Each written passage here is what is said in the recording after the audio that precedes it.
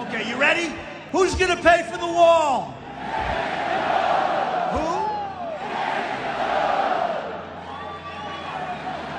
A hundred percent. A hundred percent. Wall. Build that wall. U.S. has become a dumping ground for everybody else's problems. When Mexico sends its people, they're not sending their best. They're not sending you. They're not sending you.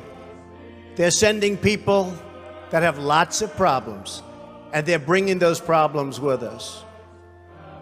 They're bringing drugs, they're bringing crime, they're rapists, and some, I assume, are good people. They're bringing drugs.